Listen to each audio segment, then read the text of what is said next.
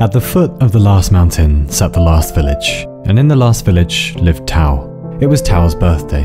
While he was working in the corn, his friend Samuel shouted for him to come quick. Tao ran to the edge of the village where the death barrier was, and beyond the death barrier was his father, lying on the ground. Tao ran to his father. His father wasn't breathing.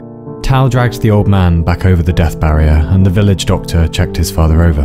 The doctor said, I'm sorry, he's dead. The snake did this. The next day, the village folk came to Tao's house and said, Isn't it a shame? Sorry for your loss, and so on. And Tao thanked them, and then he was alone again. He hoped he would get good at being alone soon. That night, he watched the great mountain glowing with the light and madness of the new gods, who knew what they were doing up there. When Tao slept, he dreamt of the snake that had killed his father, its fangs curved like scimitars, its eyes full of rage and malice and pride, and all the evil it had exacted on the village folk for hundreds of years, bringing disease and misery and now it had brought death to his father. Enough. Tao got up just before dawn. He packed some water and food into a satchel, then went to the pyre where his father had been cremated and took his father's ashes and put them into a jam jar. Then he walked out to the boundary of the village, to the death barrier. Stop! Someone yelled. It was the village doctor. You step over the barrier, you can die. Leave the snake be, you can't fight him. Tao closed his eyes and stepped over the death barrier and walked out into the wilderness. Tao trudged about the forest all day looking for the snake, but found nothing. He saw his father's face in the trees. Where had his father gone? This man who'd given him his time, his love, had taught Tao how the world worked. He'd brought Tao breakfast in the mornings and blankets in the evenings. He brought him up, but his father had gone off into the dark alone now, and Tao knew he couldn't bring his father breakfast, or bring him blankets, or bring him back. The snake, the bastard, he would kill him. Tao was out of water and thirsty. He spied the great mountain above the trees and walked towards it. At the foot of the mountain was a river, and he drank from the river for a long time.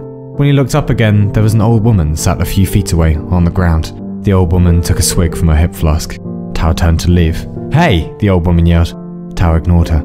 She said, You look like someone with unfinished snake related business. Tao stopped. What do you know about a snake? Green one, about yay high, she said. Maybe. She pointed up the mountain. I saw him, went that way he did. Did he now? Tao said. Oh yes, and a mighty sneaky sneaky wiggle he had about him also. Yeah. Tao began to walk away.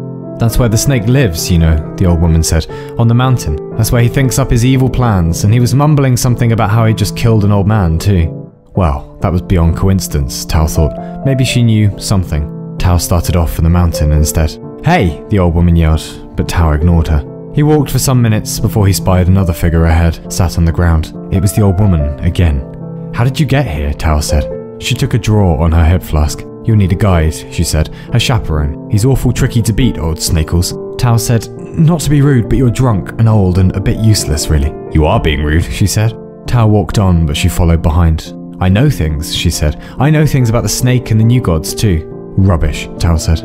Is it? The old woman said. Take me up the mountain and I'll teach you how to kill the snake. I'll kill him myself with my bare hands, Tao said. No, the old woman said. No, you won't. They looked about under rocks then, in holes, but the snake wasn't there. He must have gone further up, and so they climbed.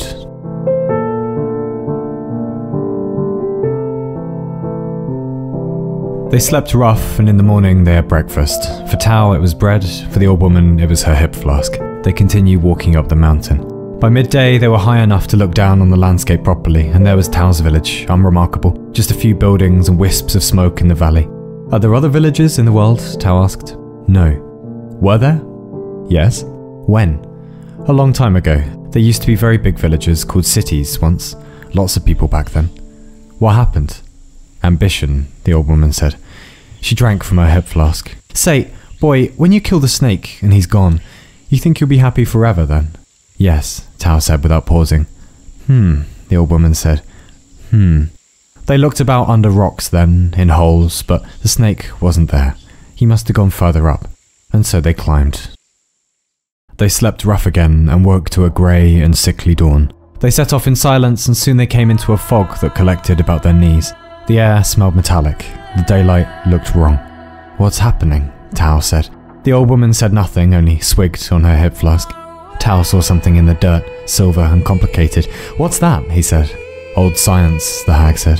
What science? The old woman said, sort of like magic, but it works. There were more machines now silver, glass, great towers of geometry and industry. Who built these things? Tao said. Well, the new gods, of course. Why have they abandoned them? Because all children get bored of their toys eventually, she said and about them appeared lines and symbols, esoteric glyphs in the air, and lights flashed in the distance, and a great wind picked up, and the metallic reek grew thicker. The rocks were not rocks now, but hexagonal metal slabs, and the trees were twisting candles of crystal. And ahead glowed a pedestal, and upon the pedestal was a set of spectacles. The old woman picked them up. Here, boy, she said. These are the glasses you'll know the snake with. Glasses, Tao said. My vision's fine. No, it's not. She put them on his face. Suddenly, Tao was pulled from his body and senses and saw the world without her mask on. A tangle of fields and dimension, the height of time, the width of space. And he knew then that matter was both a point and a wave and a joke. And he saw the logic at the bottom of everything, and the madness at the top, and the shape of becoming, and the dance of decline. And finally, then he saw himself in true perspective a speck on a blot, on a smudge, on a blemish, on a fleck, in a grain of galactic sand amid a billion other beaches. And those beaches themselves only made up more grains of sand, and more grains of sand, and more grains of sand, and more grains of sand, and more grains of sand.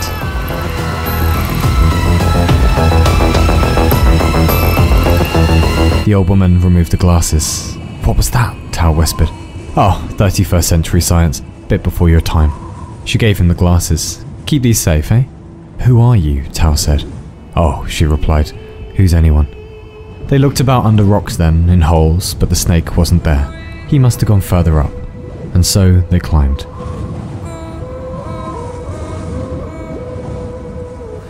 The next morning they woke after dawn and had a fine view of Tao's village below. Tao said, Why is the world dead? The old woman said, Everyone got clever. Now they're gone.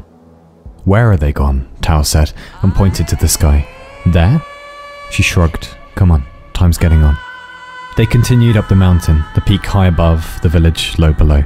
Tao thought again of his father. He imagined the days ahead as empty and overcast, no one to talk to, truly, no more games, no more laughing. When he found the snake, he would rip it apart. He spied a stream then, and the water was red, and he realized it was blood. The stream of blood grew thicker as they climbed. No, it was a river of blood. And on the ground were notes and coins and precious jewels and staffs and scepters. The ground was scorched, and from the ground rose smouldering vapors, and the air stank of death and glory and dominion. And ahead, Tao spied a sword. It was sticking out of the soil, its hilt glinting red and purple and gold, and the blade an opulent silver. They sidled closer. Take it from the ground then, boy, the old woman said. What is it? Tao said. That is the sword you'll kill the snake with. And with a great effort, Tao wrenched the sword from the ground and brandished it, and great plumes of fire and lightning leapt from the tip and set the ground alight. Tao brandished it again and outshot swarms of locusts and wasps, and he bellowed a great stentorian laugh, and the laughter echoed out over the plain of the mountain. Everything was power. Everyone would listen to him now. The village elders, the oracles, the bullies, and the brutes. Hell, even the snake when the time came. He laughed again, and the mountain was only fire and lightning then, was only power and malignancy and rage. Thou shalt always kill, he thought. And he knew that no one could do a damn thing to stop him, ever again. And more than that, with a dastardly certainty, he supposed that with this thing, he could end the world if he wanted.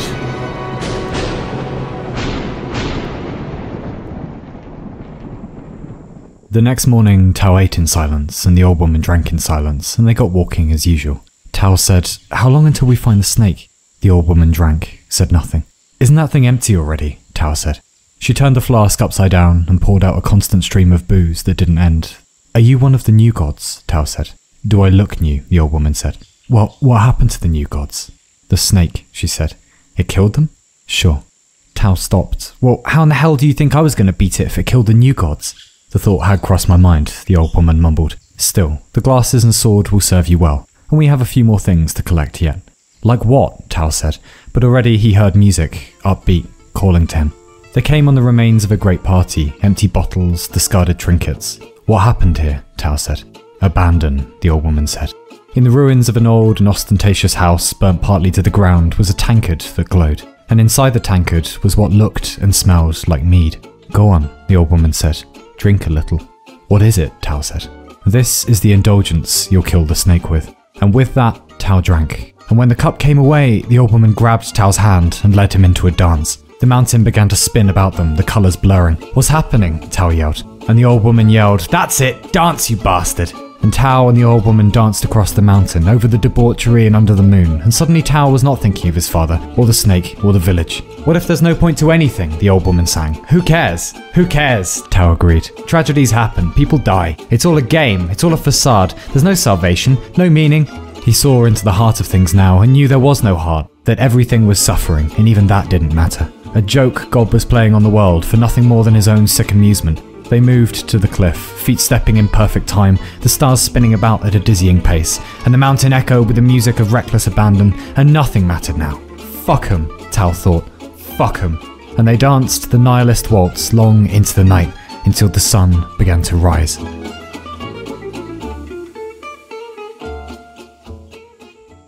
Tao woke with a throbbing head and a mouth that tasted like death. The old woman was already up, smoking a pipe. All well? she said. Hmm, Tao mumbled. Was the dancing really necessary? he said. The woman nodded. Certainly was. Come on, we're very close now, and the snake can't hide forever. I'm not going anywhere until you tell me what the hell is going on, Tao shouted suddenly. Where are the new gods? Where is the snake? And who are you? Yeah, whatever. Come on then. She set off walking, but Tao didn't move. She paused, rolled her eyes. All right, all right, she muttered. What's the year? Hmm, 326, Tao said.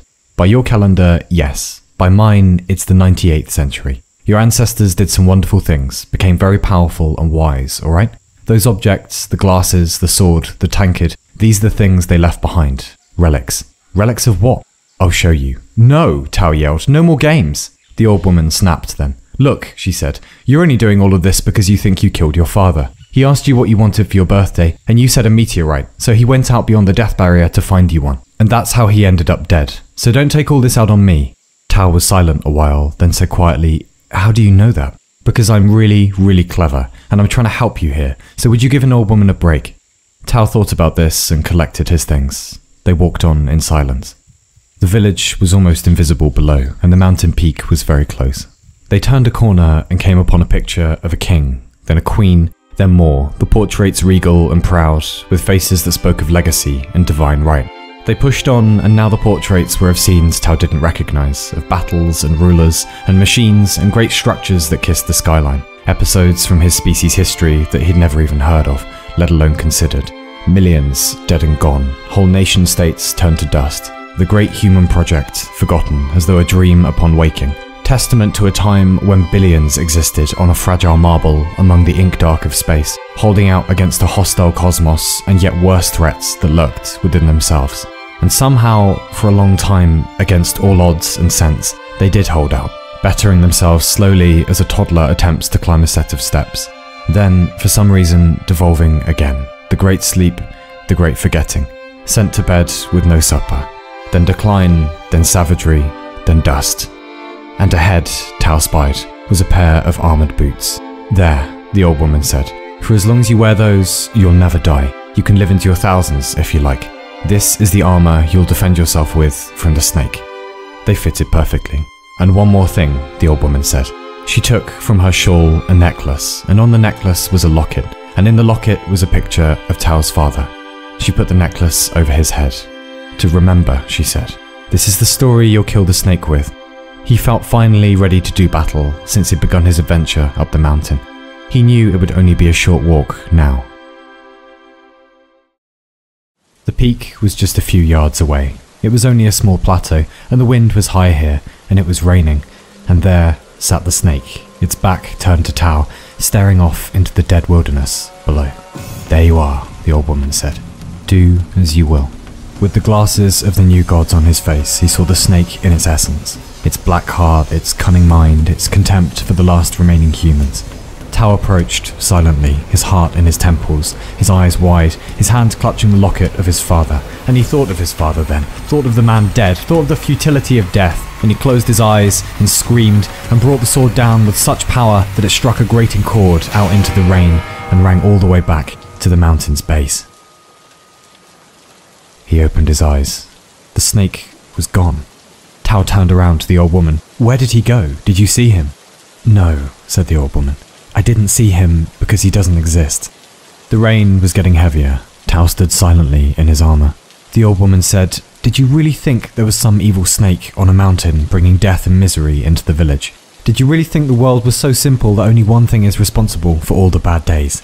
God, what is it with you lot? You have everything, you know that? And you spit on it, like living in some enormous mansion, and one day you find a chipped brick, so you burn the whole damn house down. You've got everything down there. I gave you everything. Endless food, endless life, and you're still miserable. Shit, do you know how difficult it is playing deity? I'd give anything just to give up knowing everything. And on the skyline appeared shimmering and translucent buildings, high technology and science. They got everything they wanted, your ancestors, the old woman said, and they still weren't happy. The snake was still there misery, chaos, and death. They tried sending it away with perfect knowledge. They tried killing it with ultimate power. They tried forgetting it with abandon. They tried living longer. They tried clinging to each other. The spectacles, sword, tankard, armour, and necklace. They looked about under rocks then, in holes, but the snake wasn't there. He must have gone further up. And so they climbed and climbed and climbed and found nothing. It was just them in the universe, and they were still miserable. So the new gods are all gone now. All except me. And your species is gone too now. All except your village, the old mode of living. I keep you lot around because it's a nice souvenir to how we were once. I'm sorry your father is gone. I'm sorry you'll never see him again. But there's a whole village down there of people who love you. And here you are screaming at the wind on a fucking mountain. Bad things happen, and the reasons for them are complicated. There is no snake, no witch, no evil genius, and there'll never come a time when everything lasts forever and nothing hurts ever again. But the strength is in taking a good look into the abyss, into the eyes of the snake, and then choosing to still be a good human, even in the face of great uncertainty and malice, and that day when everything will be gone forever. It's not gone yet. It won't be for ages. Don't waste your time on snakes and windmills. Say goodbye. She took the jam jar out of Tao's satchel and gave it to him. She put her arm around his shoulder. Slowly, Tao opened the jar, and the wind took the ashes of his father and flung them out over the mountain. And in the last light of dusk, they were not unlike a million tiny meteorites, all done with being cosmic and bound for the everyday ground. The old woman said, Your species, mine wants too. We must be the only creatures allergic to happiness. We ruled the galaxy a long time ago and still quibbled over who got more ice cream for dessert. Still wanted to pretend we didn't come from the mud. Still couldn't accept that meaning and solace aren't to be found in the heavens, but in the trenches of everyday living. We'll know everything, and then we'll be okay. We'll kill everything, and then we'll be okay. We'll forget everything, and then we'll be okay. We'll live forever, and then we'll be okay. We'll cling to everyone, and then we'll be okay. And even then, we weren't okay, because that's not how the game works. Go home, Tao. Don't try to be a hero or a sage or a warrior. Just exist for a while and be decent. That's heroism enough. It's how it's always been done. Hey, you want to keep the glasses and sword and tankard and armor? You can rule the world if you like. No, Tao said. Good choice. Tao said, Am I the first from the village to come up after the snake? Boy, the old woman said, Everyone from the village came up, one by one. I gave them all the same treatment. They all went back down, even your father. God, he asked a lot of stupid metaphysical questions. I can see where you get it. You're the last one to come up here. So go home, be human. The universe doesn't give a shit about you. Your village, your family, me, we do. Remember your dad. Love him always. God knows he loved you. And come up here anytime you like, and we'll hang out and remember him together. Tao took off the glasses and the armour and the tankard and laid the sword down on the ground. Can I keep the necklace? he said. Of course, she said. And the memories, they will always be yours too. The curtain of ashes was gone now. The sky was clear and fine. He set off back down the last mountain, bound for the last village. It would not be a difficult walk. And even if it were, he thought, he would not mind so much now. It would give him time to remember.